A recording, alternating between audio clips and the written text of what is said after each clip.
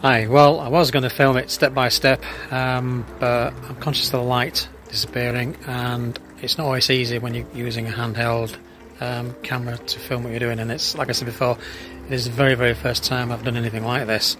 Um, you can see uh, just behind me, uh, bits of the roof, um, all the rubbish I've collated. I'm going to have to get rid of all that.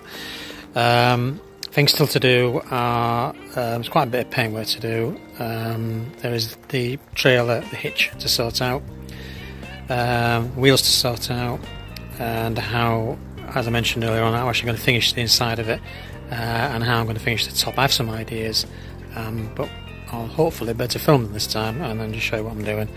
Um, put some clips where I'm up to, how I've done it, um, probably some jazzy music, who knows. But hopefully, I'll be um, keeping the loop. And thanks for listening.